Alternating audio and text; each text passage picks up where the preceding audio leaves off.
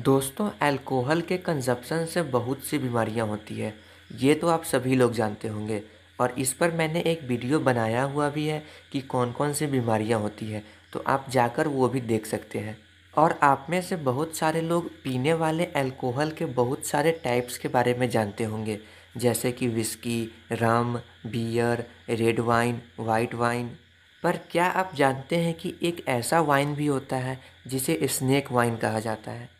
और इस वाइन को ज़िंदा सांप से बनाया जाता है।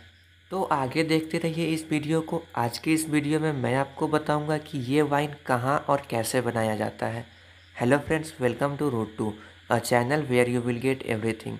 तो आइए देखते हैं।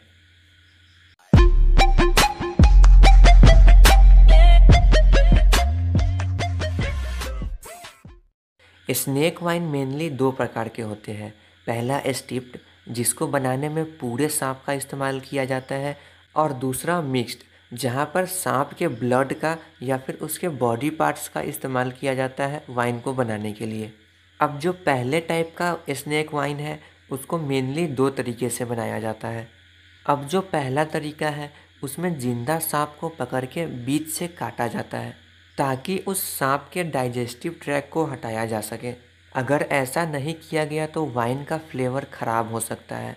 अब बीच से काटने का मतलब दो टुकड़ों में काटना नहीं है, बल्कि सर के थोड़ा सा नीचे से पूँछ तक एक कट लगाया जाता है, ताकि वो सांप काटे जाने के बाद भी ज़िंदा रहे। अब उस कटे हुए सांप को अल्कोहल या वाइन में धोकर शीशे के जार में रखा जाता है और उसके ऊपर से राइस वाइन या फिर ग्रेन वाइन डाला जाता है। और तब तक वो सांप ज़िंदा ही रहता है। पर समटाइम्स इस प्रोसेस में सांप मर भी जाता है और उस मरे हुए सांप का भी इस्तेमाल किया जाता है। और फिर उस जार के ढक्कन को बंद करके कुछ महीनों के लिए रख दिया जाता है। ये ड्यूरेशन एटलीस्ट तीन महीने का होता है, पर इससे ज़्यादा दिन भी उस वाइन को प्रिजर्व किया जाता है। और इस ड्यूरेशन के बाद ही वो वाइन पीने लायक होता है। अब जो स्नैक वाइन बनाने का दूसरा प्रोसेस है, वो थोड़ा सा कॉम्प्लिकेटेड है, जिसमें सांप को पकड़ के सबसे पहले तीन चार दिनों के लिए भूखा रखा जाता है। उसके बाद उस सांप को एक शीशे के जार में थोड़े से राइस वाइन के साथ डाला जाता है, ताकि वो सांप उस राइस वाइन को पिए और उल्टी कर दे, जिससे कि उसका पूरा डाइजेस्टिव ट्रैक क्लीन हो जाता है। अब इस प्रोसेस के बाद सांप को निकाल कर एक फ्रेश जार में डाला जाता है और फिर उसमें फ्रेश राइस वाइन डाला जाता है और फिर ढक्कन को बंद करके उस जार को रख दिया जाता है और इस दौरान वो सांप उसी जार के अंदर मर जाता है। अब उस जार में सांप के साथ साथ बहुत सारे केसेस में दूसरे जानवर को भी रखा जाता है, जैसे कि लिजार्ड स्कॉर्पियन या फिर दूसरे मेडिसिनल हर्ब्स को भी रखा जाता है ताकि उस वाइन का फ्लेवर इन्हेंस हो सके। और उसका मेडिसिनल क्वालिटी बढ़ सके। अब यहाँ पर मैंने मेडिसिनल क्वालिटी इसलिए बोला है क्योंकि स्नैक वाइन को अल्कोहल या फिर लीकर के रूप में तो पिया ही जाता है, पर एज अ मेडिसिन भी उसे पिया जाता है। चाइनीज़ कल्चर में ऐसी मान्यता है कि सांप के बॉडी पार्ट्स से बहुत सारे बीमारियों का इलाज हो सकता है, जैसे कि बालों का झड़ना, बदन दर्द, कम दिखाई देना और ये भी माना जाता है कि सांप के जहर से कैंसर तक ठीक हो सकता है। अब ऐसा नहीं है कि आप किसी कैंसर पेशेंट को सांप का जहर पिला दो, बल्कि ये सिर्फ़ मान्यता है। तो इन्हीं कारणों से स्नैक वाइन चाइना और वियतनाम में ज़्यादा मिलता है। पर इन दोनों कंट्रीज़ के साथ ही स्नैक वाइन पूरे साउदर्न एशिया में मिलता है, इंक्लूडिंग इंडिया। गोवा में भी आपको स्नैक वाइन बहुत सारे जगहों पर मिल जाएगा। पर चाइना और वियतनाम में ये ओपन मार्केट में मिलता है, जैसे हमारे यहाँ सब्ज़ियाँ बिकती हैं। अब स्नैक वाइन का जो दूसरा टाइप है, जो मैंने आपको पहले ही बताया था, वो है मिक्स्ड जहाँ पे सांप के बॉडी पार्ट्स का या फिर उसके ब्लड का इस्तेमाल किया जाता है, जिसमें कि आप सबसे पहले एक ग्लास में वाइन डालते हैं और फिर उसी ग्लास में ज़िंदा सांप को काट कर उसका ब्लड या फिर बॉडी फ्लूड डाला जाता है और तुरंत ही पी लिया जाता है। अब इसके भी कुछ डिफरेंट टाइप्स होते हैं, जैसे कि स्नेक बाइल वाइन जिसमें कि सांप के गाल ब्लडर को काट कर अल्कोहल या वाइन में प्रिजर्व करके रखा जाता है और बाद में कंज्यूम किया जाता है। और एक दूसरा होता है स्नेक हार्ट वाइन जहाँ पर ज़िंदा सांप के दिल, धड़कते हुए दिल को निकाल कर वाइन में रख के प्रिजर्व किया जाता है और फिर बाद में कंज्यूम किया जाता है।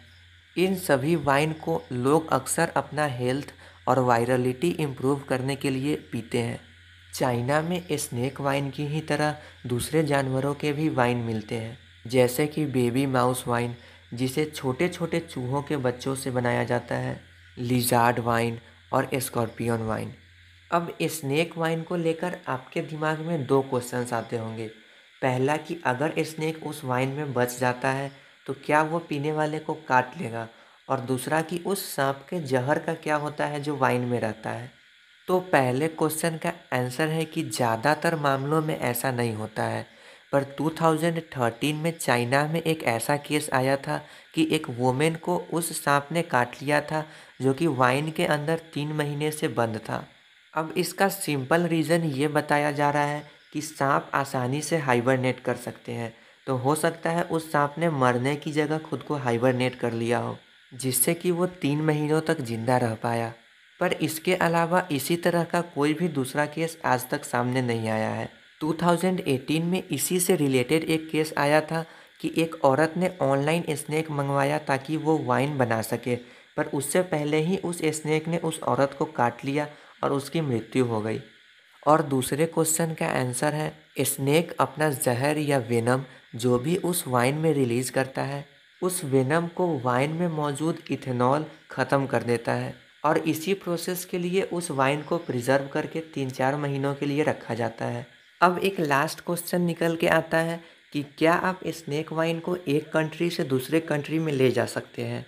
तो इसका आंसर है कि हर कंट्री का अपना अपना एनिमल लॉ होता है। तो आप कुछ कंट्रीज़ में ले जा सकते हैं और कुछ कंट्रीज़ में नहीं। क्योंकि स्नैक वाइन बनाने के लिए कुछ सांपों के इंडेंजर्ड स्पीसीज़ का इस्तेमाल किया जाता है, जो कि विलुप्त होने के कगार पर है। तो इसीलिए कुछ कंट्री ने इन्हें बैन कर रखा है।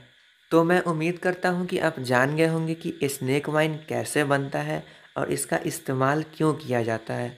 तो बस आज का ये वीडियो यहीं पे ख़त्म होता है। अगर आपको ये वीडियो पसंद आया हो तो लाइक और शेयर ज़रूर कीजिए और चैनल को सब्सक्राइब कीजिए ऐसे ही नॉलेजफुल वीडियोज़ हिंदी में देखने के लिए। और साथ ही नीचे कमेंट्स में लिखकर ज़रूर बताइए कि आपको ये वीडियो कैसा लगा।